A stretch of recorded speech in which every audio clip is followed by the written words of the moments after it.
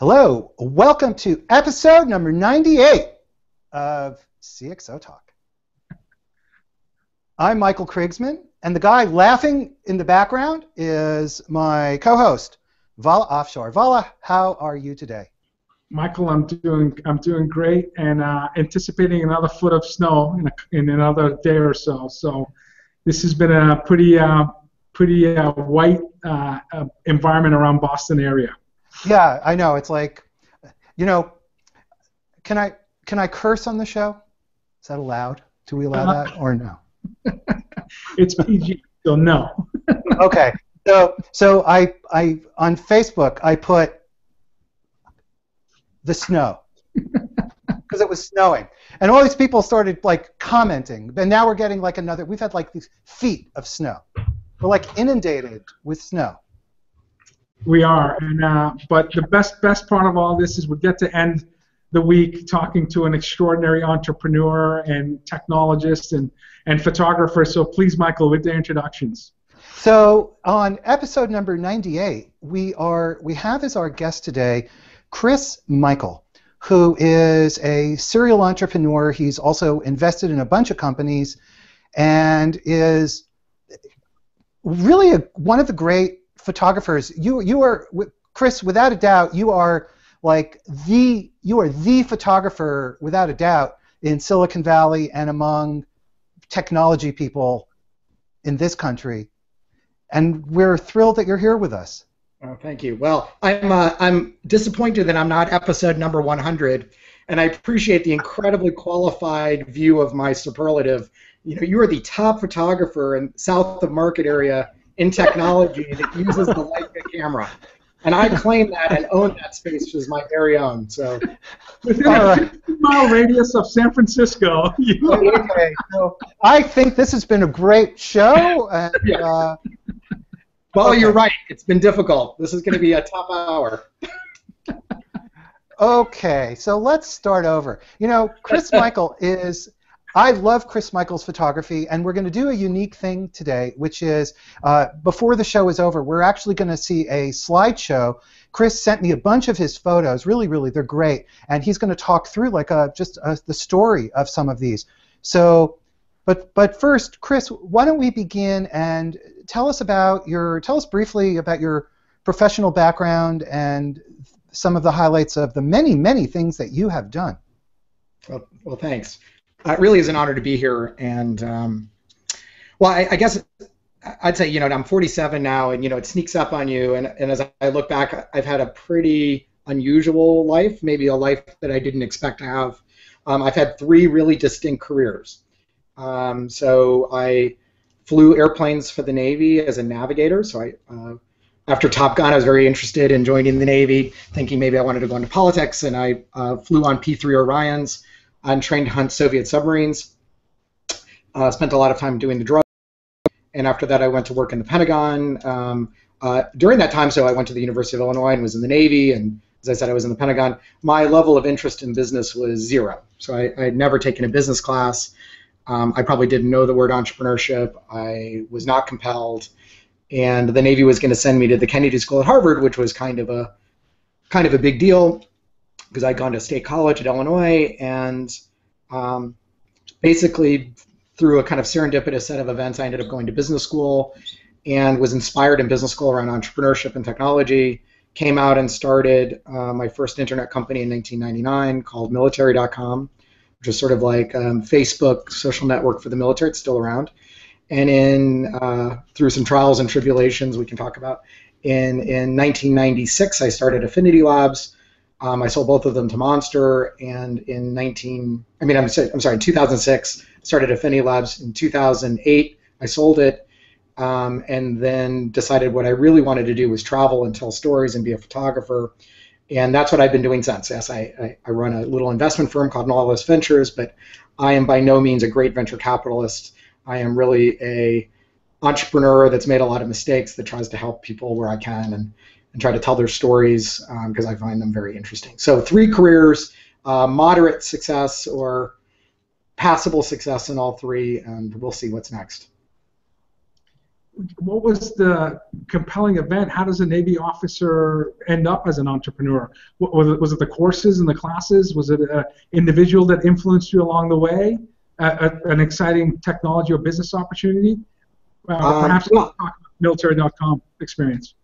Yeah, well, uh, that's a great question. You know, and this is you know when I when I get to ch- to talk on entrepreneurship, one of the things I, I'm compelled to share with people is kind of maybe the opportunity for inspiration to change our lives. And sometimes that inspiration happens in very kind of unpredictable ways.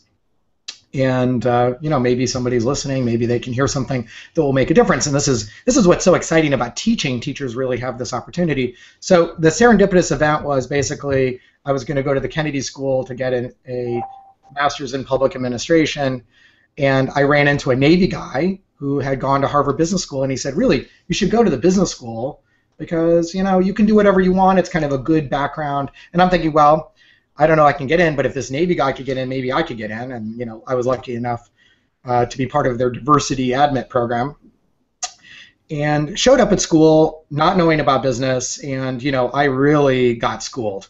You know, I had done pretty well in the Navy, and I remember sitting there in the classroom for the first day next to all these Goldman Sachs people and McKinsey people, and you know, never having had a business school class in my life, and it was a scary moment, uh, maybe as scary as you know being at the end of the Gulf War. Um, and uh, I took a class on entrepreneurship, and um, one day they brought this entrepreneur came in named Dan Bricklin. Do you, do you guys know Dan? Oh yeah, sure. Okay, great. Yeah, of course. Do you, do you remember what Do you remember what Dan is known for? Um, uh, this is age. You know, uh, Dan. Well, I'm, I'm going to give you. Right. I'm give you a VisiCalc, of course. Yeah. Yes, VisiCalc, exactly. Yeah, of course. So, so this. So imagine you're a student at Harvard Business School in 1997, and I should say, um, I was always a tech nerd. So I was programming computers in 1979. I loved technology. Uh, but didn't think of myself as a business person. So you know the, the world has changed a little bit. Everyone's an entrepreneur. If you code, you know you automatically think, well, I, I can create a company in 1996, uh, this is this is not the way, and it's not as pervasive. And this guy Dan Bricklin, who doesn't look like other people that visit the Harvard Business School, uh, he has a beard and he has a flannel shirt. Maybe it looks like entrepreneurs in San Francisco today, but again, he was quite different. And he talked about creating this company, and I created it when he was at the business school because he didn't like the way they were doing accounting. And he talked about starting the company and how important it was. And you, you know, you Soft, both realize Software Arts. Okay. Okay. That's the company. Okay. I always thought it was Visicorp, but maybe oh, it was Visicorp. Uh, oh, maybe it was. Sorry, sorry. I'm sorry. Well, I, you know, you may you may know better. But you know, when you bought a computer in, in 1980, you know the the three apps or 1981, the three killer apps on the PC were, you know, VisiCalc, uh, probably WordStar. I think it was WordStar, and the Adventure game. So you know, he built the, a piece of software that was the excuse for people to buy a computer. And he talked about his trials and tribulations, and as we know, um, Lotus 123 and Mitch Kapor put him out of business. And you know, if you ask young people today, they'll say, "Oh, it was Microsoft and Excel," and you know, it wasn't a great outcome for him. But he talked about how important it was in his life, and how, as he reflected on his life, having built something that mattered was the most important thing and to be respected and feel like you did something of import was the most important thing. And boy, really, um, it resonated with me, and I, I knew right then that what I really, really wanted to do was start a company. But you know, that's a that's good news and bad news because once you decide that that's what you want, well, then what do you do? I want to be an entrepreneur, but where do you get the idea? And uh, that's where I was in a state of high anxiety at Harvard Business School in 1997, trying to figure out what it is I was going to go do. And so, how did you come up with the idea for military.com? Well, I uh, helped start a biotech company when I was at business school at the tech transfer office, and it failed. And I only had one job offer with Mercer Management Consulting in San Francisco. So I came out to San Francisco and worked in strategy consulting. And I was, real. I mean, I learned a lot, and you know, I, I, I can commend it to people, but I was really unhappy. There was a lot going on. I mean, in a way, 1998 was a little like today in terms of buzz and excitement and venture capital. And I wanted to start a company, and I didn't know what to do. I didn't know where the idea would come from.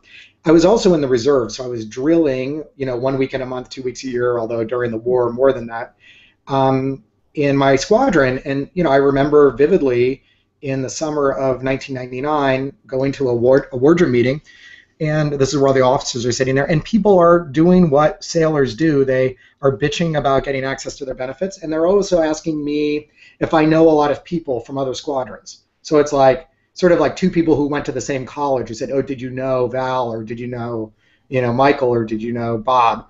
They were doing this around the Navy, and you know, in the Navy small enough that you might actually know people. So two things: one was they were trying to connect with each other in a kind of offline way, and there was a kind of lack of transparency around government benefits.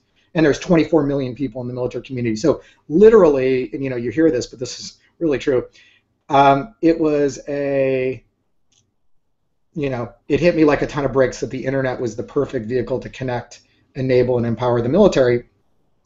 And so I left that meeting knowing that I was going to start this company, and basically quit my consulting job you know, a few weeks later, uh, still owing, you know, $100,000 to Harvard, and I started on my entrepreneurial journey. That's amazing.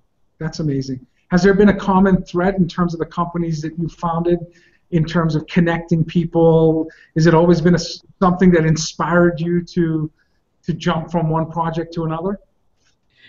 Uh, that's an interesting question. Well, we can talk a lot more about you know what I learned at military.com, but um, I, as I said, I love technology, and I was using kind of proto social networks in 1996, 1997. I was really fascinated, really interesting stuff. And, um, you know, in building military.com, it was really, well, it was a very difficult experience. I got fired, I learned a lot, I, you know, um, it was a transformational experience. But we figured out some things through some difficulties. And then when we sold the company to Monster, it was doing well. And so basically, we had this community where we could bring people together. I mean, remember this is pre the term social network, pre um, this is pre Facebook, and it worked. And we thought, you know, I was thinking to myself, well, if it works for the military, remember Monster's got, you know, Monster at the time is quite a big company, and they're the jobs company, and you know, part of what we did was help people transition out of the military and get jobs. Um, that wasn't the only thing that we did. We helped them join the military, relocate, use their educational benefits, find each other, read news. It was like a it was like kind of like Yahoo meets Facebook for the military, and it worked. And I thought, well, we should do this for nurses and teachers and police officers and government workers and skiers. And I thought, well, think about the monster database with everyone's resume. There's all these like de facto professional networks that are in the data. Do you know what I'm saying? Like, mm-hmm. if you're a CMO, that's a community of people. You know, CXO is a community of people. And I thought what we could do is build a platform to go do that for all of these different communities right? A thousand Facebooks. Mm-hmm. And um, so I talked to Monster about it. I said, well, we should do this. And uh, they didn't want to do it. So um, it was a little more complicated a story.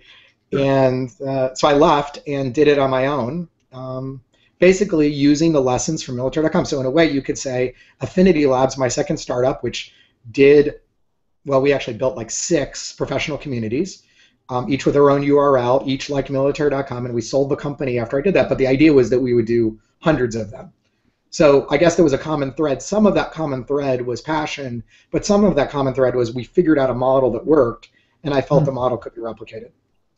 So you uh, you've started a couple of companies and sold them, and you've invested in a lot of companies.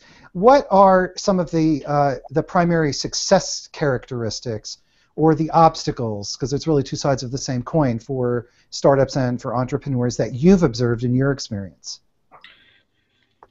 Hmm, that's an interesting question. Well, you know, I, I, I would say that, you know, when almost my entire view of this was informed by um, a very personal and difficult set of experiences as the CEO of military.com.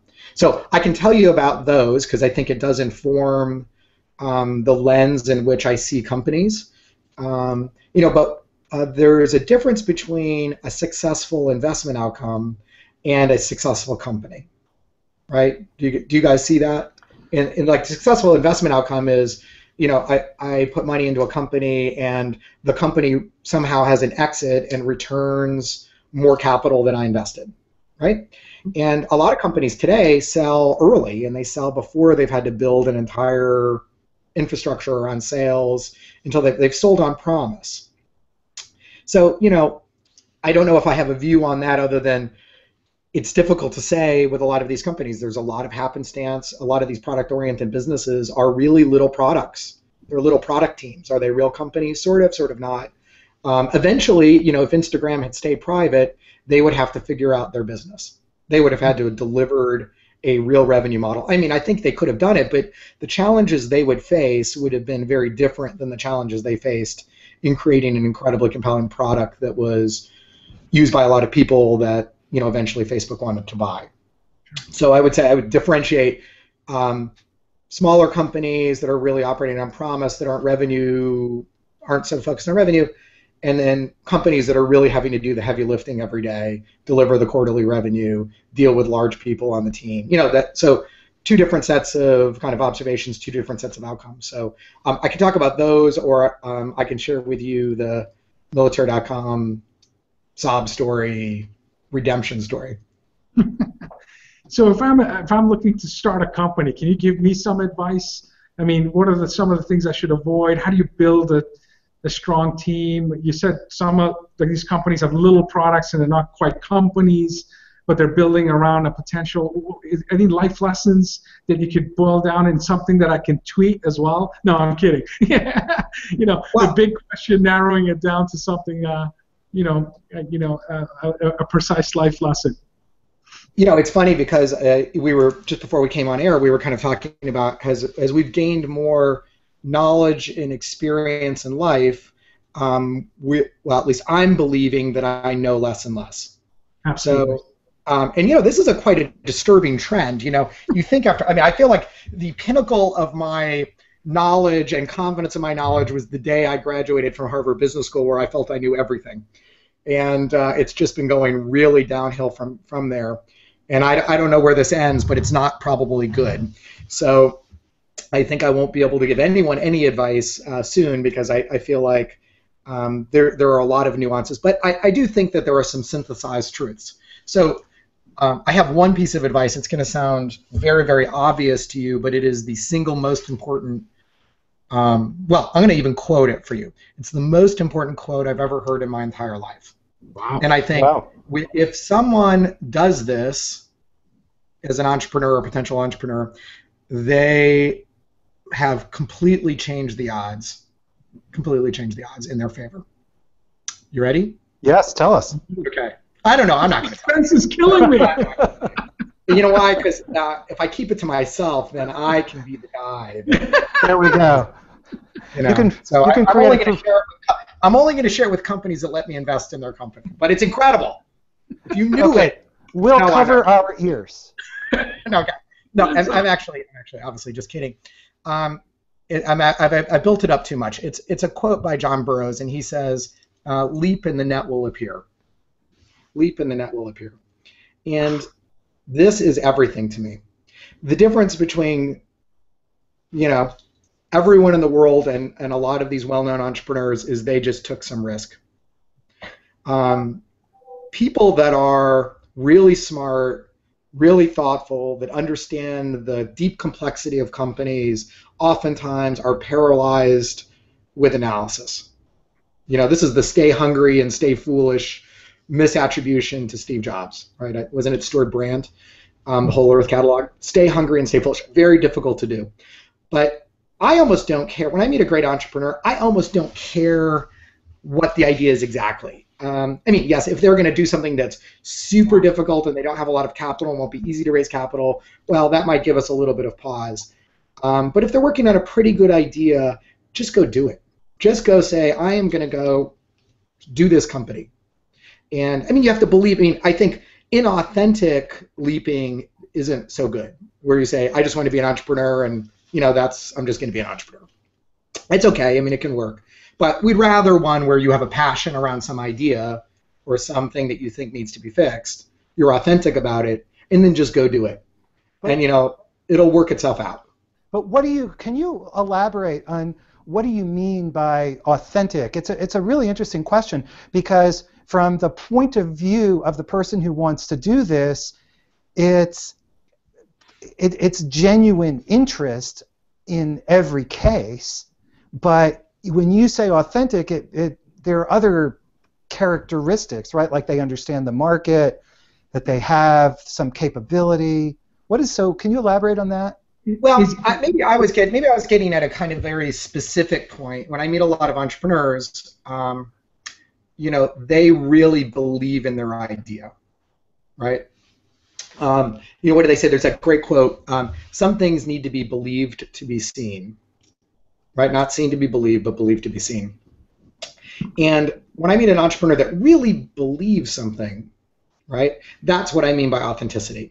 Sometimes I meet people that are raising money, and you know, we have a cult of entrepreneurship now, which I think is mostly good, but we have a lot of people in the field now, and so many people want to be entrepreneurs. I don't know if they, as you know, if as many of them believe in their idea as maybe they did five years ago or six years ago right? They really believe in the idea of being an entrepreneur, and they know that they need to be- they need to pretend to believe in their idea.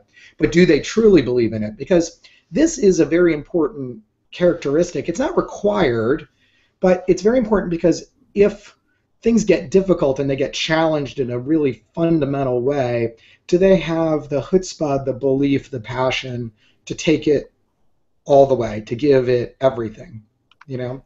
And um, so I don't know if you see that distinction. So some people seem to like their idea, but you're not sure whether they even fully believe it, and some people, you know, believe it more than anything else. And well, the latter is the most authentic and the one I like the most, and it's a characteristic of entrepreneur that I just adore. Do you have to do you have to see uh, and feel um, the focus and and sense of urgency in order to call it authentic? I mean, can you be authentic if you lack focus and urgency uh, when you're trying to, you know, start a company, as an example? Yeah, well, I, I, hate to generalize. I mean, all of these are generalizations. So, sure.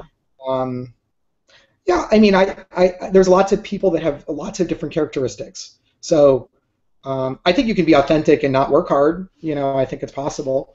Um, there's a there's a portfolio of characteristics that seem to work really well. You know, it's integrity, it's caring of people, caring for people, it's passion, it's some smarts, and you know, and the other one that's really important is tenacity, right? Um, you know, if we had an hour and a half, I could tell you over and over and over again. Um, I was faced with challenges where very smart people, including board members, told me to stop working on the company. One of them, I remember, um, uh, General Carl Mundy, who was the Commandant of the Marine Corps, who was an advisor to my company. So Commandant of the Marine Corps is the CEO of the Marine Corps. So this guy's an important four-star general, and he said to me during the nadir of military.com, you know, he said sometimes you need to know when to give up on the battlefield. And did you ignore uh, his advice? I almost, I almost didn't. You know, uh, the board told me this looks like a nonprofit. You know, I got fired. I came back when the company had like six people in it, and we were basically talking to bankruptcy lawyers. And I didn't give up. And this happened, and I mean, this exact thing didn't happen like this, but we had a number of cases in, in other companies where things got very difficult. And now I see the power of that moment. I see the power of what happens during that sort of diamond creation process with incredible pressure.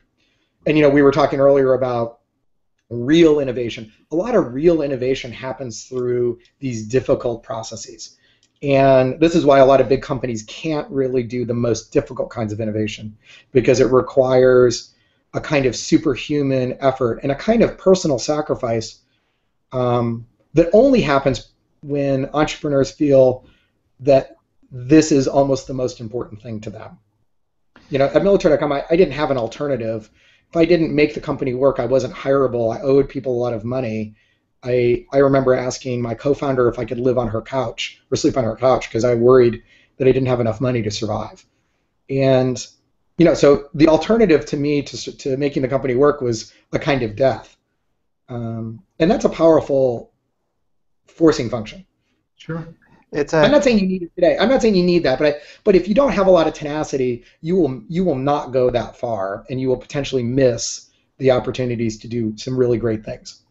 Well, there has to be some something that's motivating you, either intense motivating one to do that, either intense personal drive, or not wanting to have to sleep forever on your co-founder's couch or whatever it might be. It has to be something. Yeah. Well, you know, I, I had, I mean, we all suffer from ego challenges and mm-hmm. and insecurity, and you know, it's a very, I find insecurity incredibly fascinating thing, and even you know, as we all know, some of the most accomplished people are incredibly insecure, and it's a kind of driver for them, and it's a powerful driver, and we don't like that characteristic, but again, it's a powerful driver. And my insecurity was I was a Navy guy that never went to, you know, never had a business class and was always the outsider. I moved eight times as a kid. I felt like I was an admissions mistake at Harvard. When I was doing my first startup, I was an outsider, a military guy. I had something to prove in a big way. And, you know, that that helped me. Uh, it hurt. I mean, you pay for it, but it helped me. Um, so, what are people's drivers? I mean, you know, there's another driver. Uh, one advantage to raising capital from people is you make a commitment to others that you're going to deliver for them. You hire a team, you have a commitment to the team. So, there are things that can force us to leap. I always tell my friends who are successful, I said, well, if you really want to make it happen, just go raise $6 million in your A round, right? And all of a sudden you have a board of directors, which is like your, your coach that is waiting for you to deliver. And next thing you know, you are treading water, you got to swim you got to make it to shore. So. Uh, so you've written a lot about, and you've spoken about activities versus outcomes, and so maybe sort of link that in. And I'm just looking at the time, so maybe just for a few minutes, because uh, as people watching probably know, you're this great uh, photographer, and we have a slideshow set up where you're going to talk us through some of your photos, and I want to be sure that we have plenty of time for that. So well, activi- activities versus outcomes. Right. So one, you know, there were uh, the the military.com talk when I talk about the nadir of that experience of having been fired. You know, I had about four months or three months as the fired CEO, and just to, to put a, a fine point on it, um, when they hired the new CEO, he sat in my office in my chair as I came in and sat in the guest chair. You know, my office with all my things, and he said, you know, it's probably best that you don't come by the company anymore and uh, just think about what that might be like, right? Not yeah. not a positive feeling. And so I went swimming. So there was a, a, swimming pool at the gym, and I swam every day. And I really thought about what the mistakes were in the company, and there were a variety of mistakes, leadership mistakes around the characteristic of great companies that I didn't follow, like is everyone in the company an A player? Were we getting rid of people that weren't performing, that were either nice uh, but not great, or maybe great but not good people, not good fit in the company, because that you know that really doesn't contribute to an incredible corporate culture. And one of the things I really believe in so deeply is um, how possible it is for CEOs to build incredible cultures. How there is an approach, and if you build that kind of culture, and I feel like we we did that in second half of military.com and at Affinity Labs, you can do anything you've built a machine that can do anything. You've built a special forces team that can solve any problem, break through any wall. And I love that. It's one of my most favorite things in the world. One of the other mistakes that we made is, you know, we raised $30 million or $25 million, and um, we were doing a lot of things in the company that looked like they were good ideas and they were good activities, but they did not lead to outcomes. So what I'm what I'm getting at here is there's a whole lot of things that we can do that seem like a good idea that you know we engage in but can you tie it actually to an outcome for the company? Can you tie it to revenue? Can you tie it to users? Can you tie it to business success? And when you raise a lot of capital and there is no forcing function um, there is a lot of danger. And you know since i've uh, talked a lot about this there's been a lot of movements here the lean movement. Uh, a lot of companies are doing a lot with the seed with seed rounds, so they don't have a lot of capital. That's a good forcing function for people. But I also see a lot of companies that raise a lot of money, or big companies, or or think about like the government. Think about how much money we spend on education or defense. You know, the challenges we have in these areas are not related to the amount of capital we're spending. We're just doing a lot of things that may not matter, and having the discipline to see the difference between activities now. Because I'll give you an example. Um, I was spending twenty thousand dollars a month for, with our PR firm. So let me ask you guys. Um, the PR firm comes to us and says, I've got a front page Business Week story for you. Is that an activity or an outcome for my company? Activity. Uh, it's, it's, it's a tough it's a tough call because a front page story in Business Week is uh, pretty significant from a marketing standpoint. Well, okay, so what I'm going to say is it, it seems like it's a pretty good thing, right? But it isn't directly an outcome. right? Lots of press isn't directly an outcome. That press has to lead to something. Mm-hmm. The press has to lead to sales. It has to lead to revenue. It has to lead to hiring. It has to lead to something. So it's a process. And, it's a process item. Well, it's really um, yes, it's a process item, but it's really that someone in the company is asking the tough questions around: Are these things that we're doing making a difference? is bringing in this great web consultant making a difference? Is building this piece of content making a difference? Is this feature making a difference? Uh, look, it's easy to, to point to the things that like don't seem like good things. It is really hard to triangulate on those few things, those few levers that really make a difference. Like think about your own show. You could do lots. Of, you could have lots of people on the show. You could do lots of tweaks, but you know there might be a few things that if you did them right, they really move the needle. Sure. So um, I didn't do that right, and I probably wasted. You know, we did a lot of advertising. I probably wasted 15 million of the 22 million, and um, you know, I'm very, very focused on helping the companies that I work with um, not make those mistakes again. And you know, I think about it even in my life and what I observe in the world, and a lot of people struggle with this. A lot of people get confused. But but to be fair, did you did, you didn't have the technology to measure outcomes or desired results, did you? I mean, on, without marketing automation, CRM, influence reporting, predictive analytics. I mean, how did you how do you measure outcome 15 years ago in marketing? Yeah, well, you know, we were one of the early companies to to do online lead generation. So what one of the evolutions of military.com is we got very good at figuring out how to spend marketing dollars that were profitable in the company. Awesome. So we were able to tie I mean, you know, we, we had data scientists and we were tying marketing work with driving registrations or leads on the website. Um, but I think the the the danger here is even without I mean, yes, if you have those analytical tools, it's a lot better. But there's still a lot of things that you could be doing that seem like a good idea, but we don't we don't think we can measure them. And you know, I just think we should be very cautious about those activities in our lives. Um, a lot of, I mean, when I was at Monster, they were hiring the biggest ad agencies in the world doing Super Bowl ads. One of those Super Bowl ads helped Monster a lot, and the rest of them wasted almost a billion dollars of value. I think. So, and you know, the ad agencies are going to tell you a lot of things about how their predictive analytics and their audience measurement are really helpful to you. And now I look at that with incredible skepticism, right? And I think, frankly, CMOs and CEOs need to be looking with incredible skepticism at a lot of these things because they don't move the needle for them. Well, there's no doubt that for many startups, there's a strong element of ego that's involved, and you can make the and and I'm sure many startups make the argument, oh, these huge fancy parties are important Absolutely. to spread the word. But let's face it, these huge, huge fancy parties are a lot of fun, and it's a lot of fun to spend money, especially somebody well, else's. Well, you know, I'm so I'm so glad you brought that up because you reminded me I, I have a story. So I um, when we launched military.com, I remember I had these very famous board members. It was my first time as the CEO. And uh, do you guys know about the launch party at military.com? You ever heard about it? No. Kind of a famous thing. Maybe it's famous in the olden days. We rented an aircraft carrier.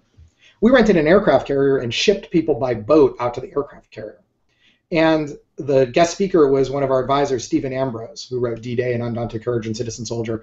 And there was a view that this would be helpful in our brand, it would be a big splash, and there was USA Today story, and there was a lot of these things. Gentlemen, this was a waste of money. It was a great memory, so I, you know, I got that. That was an outcome. It was really something I'll never forget. But you know, we see this in, in companies. I go and visit all these startups now. They have incredible office spaces, and they, you know, provide all these perks to people. And um, you know, they think it's making a difference in the company. Is it? You know, I actually think that we get confused in Silicon Valley around the things that really matter to employees, right? We think it's comp or we think it's, you know, some sort of equity package or some earnout or we think it might be what this office space looks like. Those things are important for sure, but they really keep us from the real drivers of human behavior. And I know, and the reason I know about this is I was in the military in the military, there is no special pay package for extra performance. You know, you don't get a bonus. I saw people that were very good, work very hard, and do their very, very best because what they really wanted to do was the right thing. They wanted to be acknowledged for it. They wanted to feel proud of what they were doing, right? This whole pay compensation schema that we think is driving a lot of behaviors is a false um, area of optimization. The primary driver is really good leadership. It's really inspiration. it's really making people feel valued, that this is a good use of their time, they're proud of the work, they're learning. You know, those are the things that we should be working on. Those are, I think, the biggest levers. A lot of people will work for almost nothing if they feel like what they're doing is important. Uh, Chris, we have a question from Twitter from Christopher Kelly, who asks, "What do I is... know this Christopher Kelly?" uh, okay, Christopher... I know Chris. Oh, you do? Okay, and Chris no, Kelly.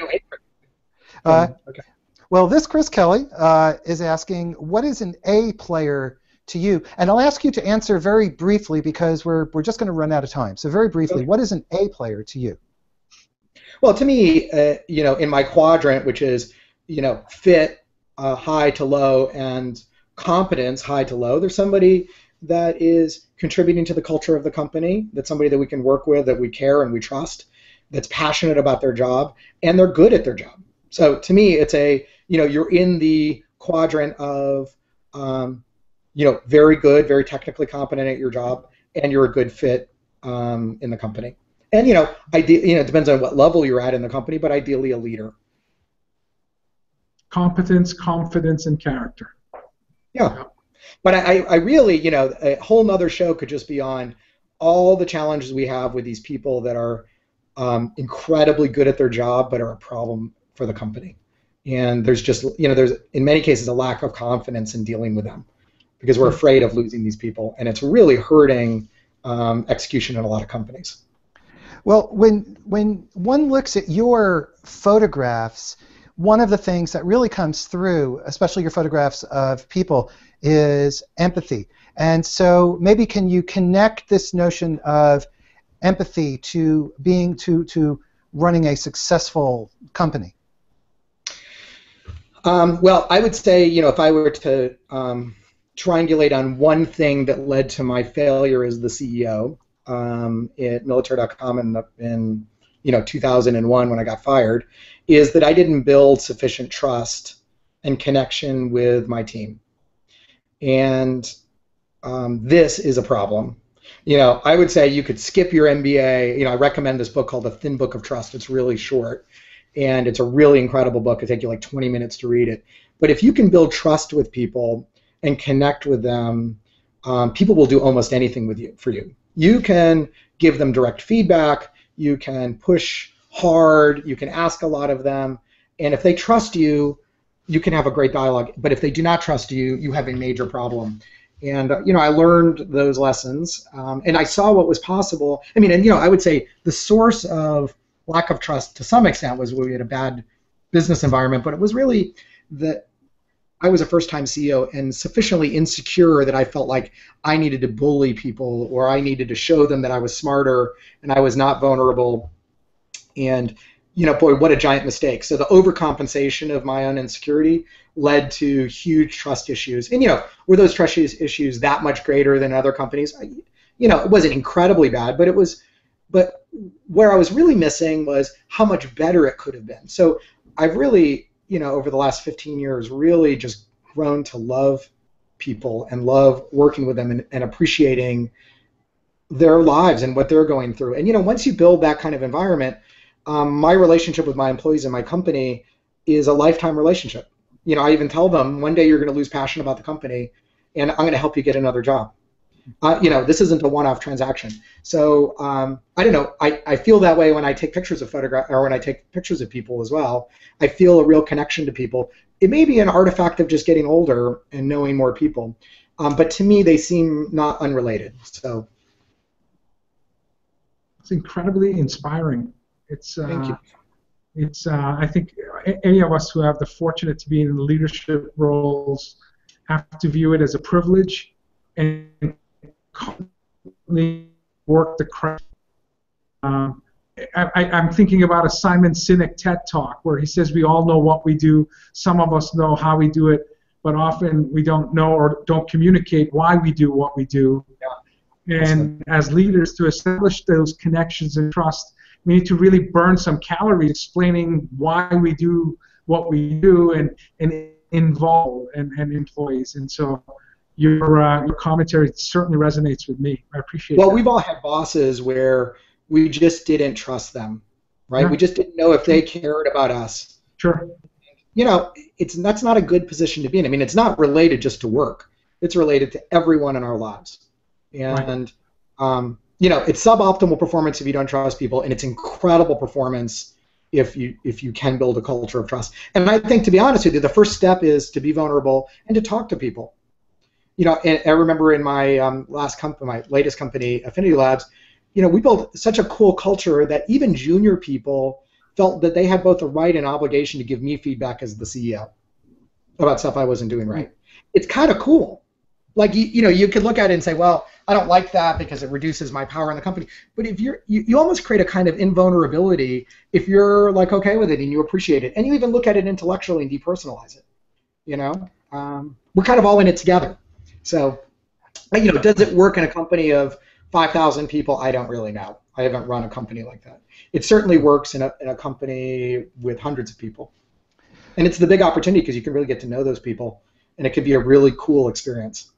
Well, without a doubt, we could continue talking about this. It's it's such an important topic, and trust is the foundation for anything that involves uh, the successful outcome of people working together.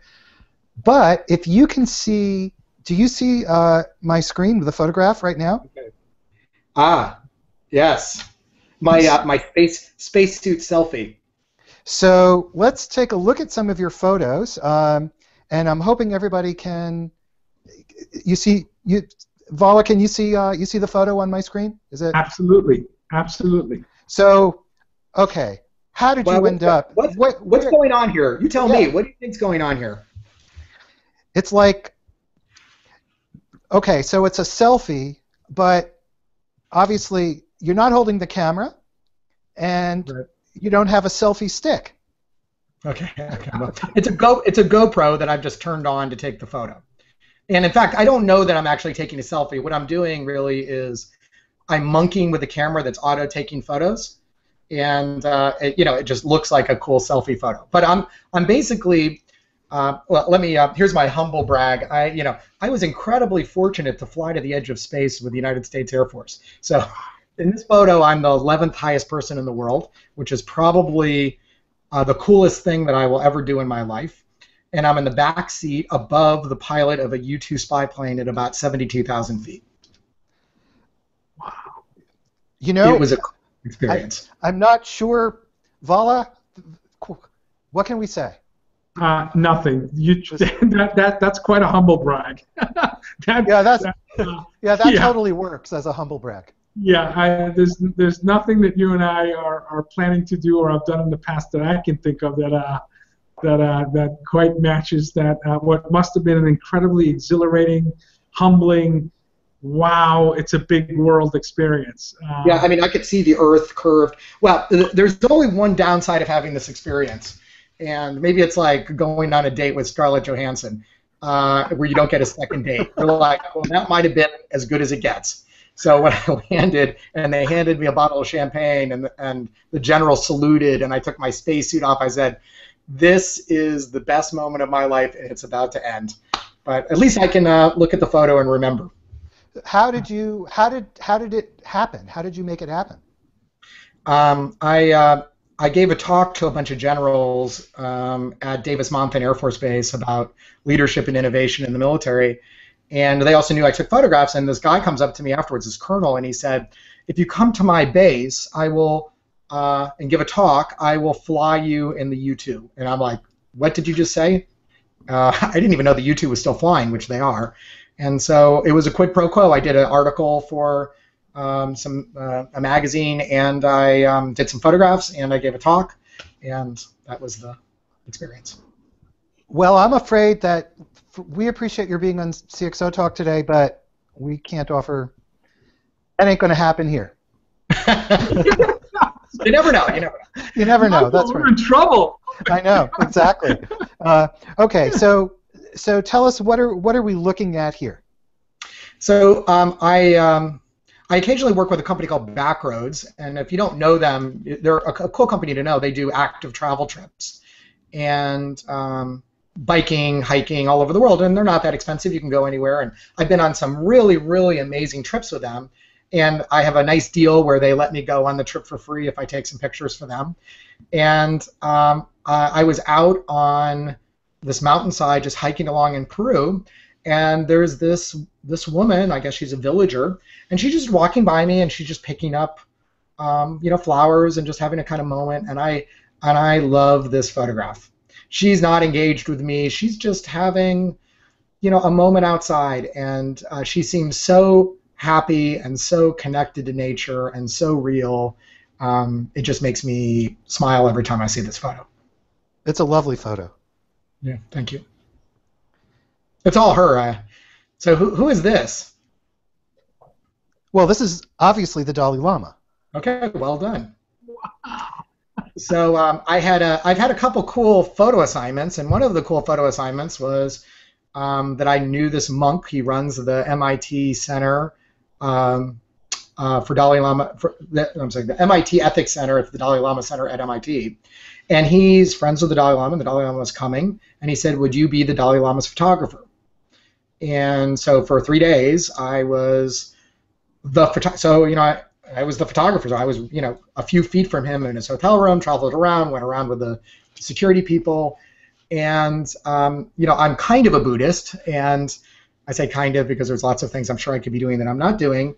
Um, but I, you know, when you get to spend time with the Dalai Lama, I know somebody I've always respected. You know, you don't know what you're really going to find when you get behind the scenes. Mm-hmm. Is he really the person we think he is? Is he really kind and compassionate even when the doors are shut? And I can tell you, he really is. He is better and more authentic and more loving and more funny and more scientific uh, than I had even imagined. And I saw, I mean, when you're around somebody that many hours a day, all day long, and this just gives you a little sense of his kind of, you know, his his energy, just smiling and happy and engaged, and it was a really cool experience. Lucky you. Yeah, lucky me. I was just thinking about that. Wow, when you know, I don't know, I don't know what to say. When, when you give, the world gives back. Boy, you uh, you uh, had an extraordinary life. This is pretty amazing stuff. I feel really lucky. I feel really lucky. Yeah. Um, okay, what, what's going on here? Anybody know? Uh, I was thinking Burning Man, but no, because this is either in China, Tibet. It's Tibet. Has to be Tibet. It is Tibet, isn't it? Or Nepal, something like that. I don't know. Yeah. Um, well, you know what's so funny? You know, you asked me to send you a collection of photographs, and um, I just looked quickly at like my gallery and pulled out a bunch of photos. It is incredibly ironic that um, we had a picture of the Dalai Lama and then this photograph, and I didn't mean it. I just now just noticed why it's really ironic. This is uh, Lhasa, Tibet. This is the tradition. This is where the Dalai Lama ruled. This is his palace, right? Um, and he fled from the Chinese from this palace when he was a boy to Dharamsala, India. He hasn't returned. The Chinese won't allow him, you know, and there's a huge problem in China. And all of these people are Buddhists, and they're all doing morning kora around the temple, right near, um, uh, right near Potala Palace, Potala where he Palace. lived. Mm-hmm. No, this isn't Potala Palace. It's right nearby. It's just behind mm-hmm. us. And we're doing morning kora, so they're, they're going around the temple in a clockwise way, and this is incense that's burning, right? And these are all Buddhists, except is you, if you can look into the center of the screen, you see a man with a military hat. Do you see that with his arm out, outstretched? Yes. Yeah, that's a Chinese soldier kind of being aggressive with the people.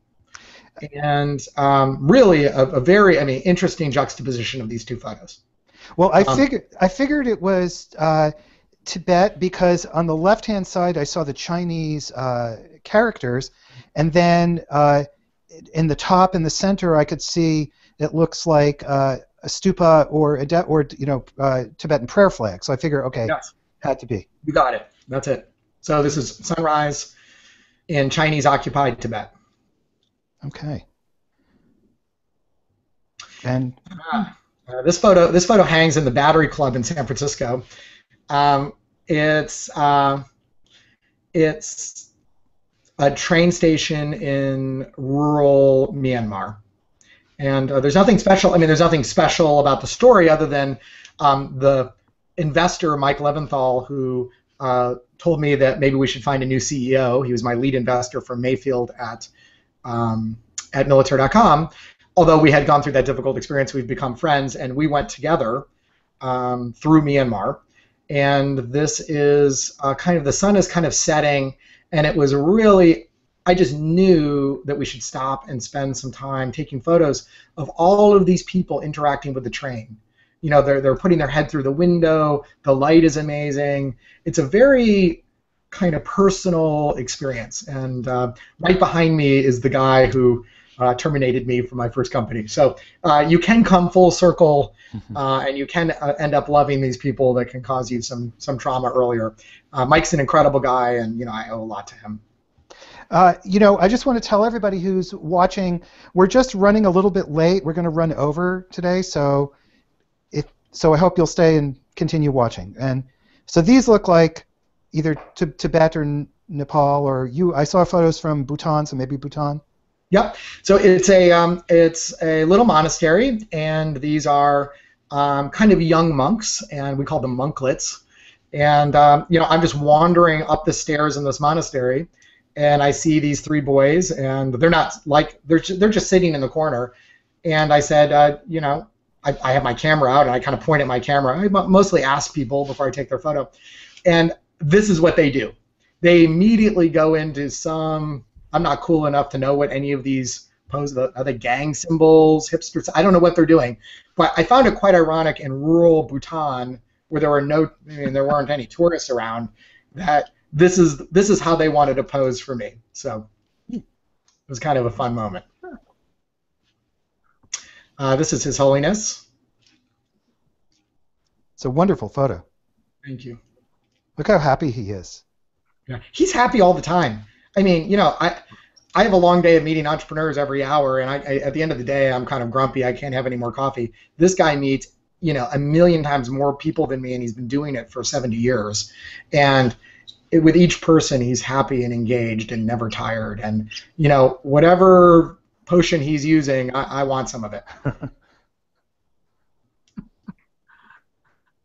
um, you know, this is kind of a quirky photo that I, I threw in here. This is um, right near the St. Francis Yacht Club, right by the Golden Gate Bridge in San Francisco.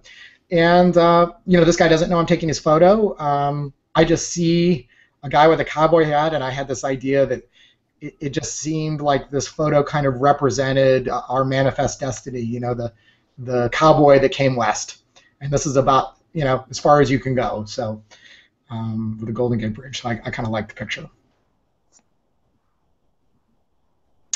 Um, well, this is my favorite sunrise picture. Anybody know where this is? No. Uh, Canadian Rockies? No. No. Okay. It's uh, it's in Patagonia, it's southern Patagonia, a place called Torres del Paine National Park in Chile. And um, what you can't see behind me, you know, there should be a, a, a, show on like what's actually going on in the shot. So what's behind me is a really cool hotel, and um, this is I don't know 4:30 in the morning, and every day um, I would get up at like, you know, 2:30 or 3:30 because the sun doesn't the sun doesn't stay down very long because we're really in a southern latitude. And I would try to take pictures of the sun, the sunrise, um, by these mountains. And every single day it was terrible. I couldn't see anything. It was like one of those sunrises where you're like, did the sun rise? I can't even tell. Cloudy, whatever. And the last day, and you know, it's really a pain in the neck to get up this early every day when you're going to bed at like midnight after processing photos. And maybe this photo is sort of representative of the tenacity of entrepreneurship.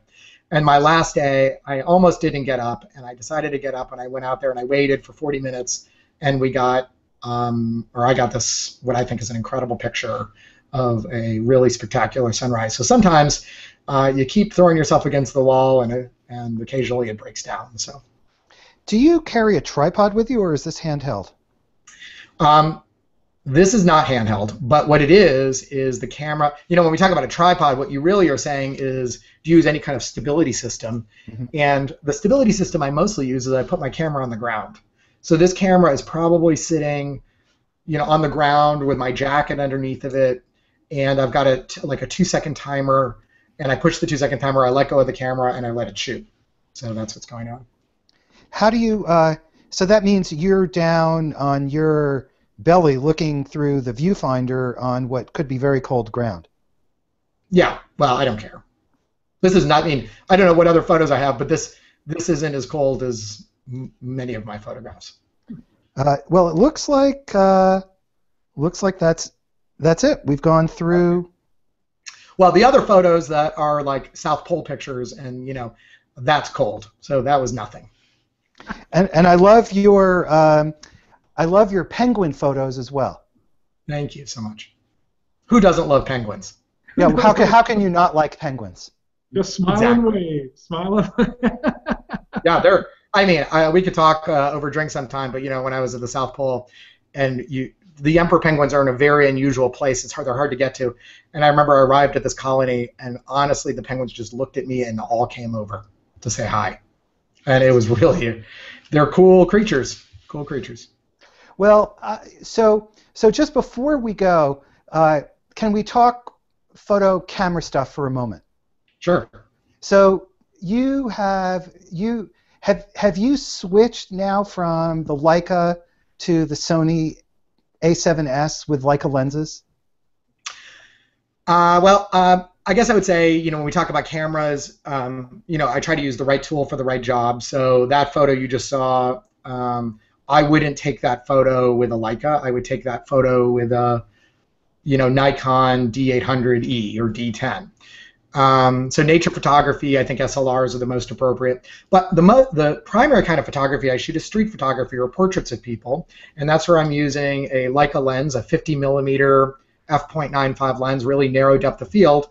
And with adapters, you can put it on a lot of bodies. And mostly I used an M8 or a Leica M8 or Leica M9 or M240.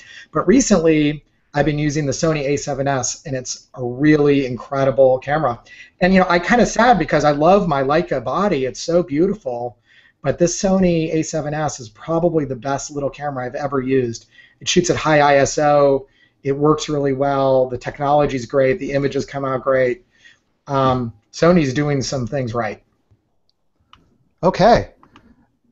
Well, Vala, uh, we're we're over time. Uh, we could You go know, on this- for a long time. This may have not been uh, episode 100, but one of my favorite episodes. Unbelievable. Uh, Thank you so much. Really, really inspiring. yeah, I loved it. You guys are great. Thank you. It's well, it's it's you know for us it's the highlight of our week, and but usually what we like to do is gang up and taunt my my glorious co-host. That's not true. We'll leave that for the weekend. We'll leave that for the weekend. Actually, he taunts me.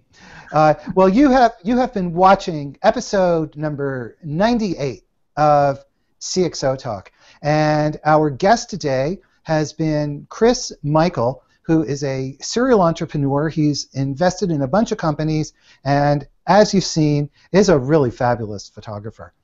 I'm Michael Krigsman with my glorious co-host Vala Afshar. Vala, we're supposed to get like what another foot of snow here. Ah, it's only six, seven feet in the last month. No big deal. So my my friendly and potentially snowed-in co-host Vala Afshar. I'm Michael Krigsman. Thank you everybody for watching, and we will see you next time on CXO Tech. Bye bye. Bye.